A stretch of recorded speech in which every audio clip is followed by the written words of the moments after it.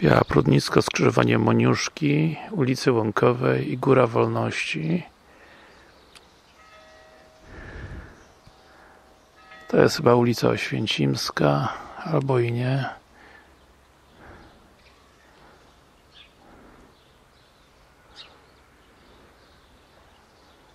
Jeszcze raz skrzyżowanie. Ciekawy budynek z czerwonej cegły. Niewiele się chyba zmienił od czasów przedwojennych.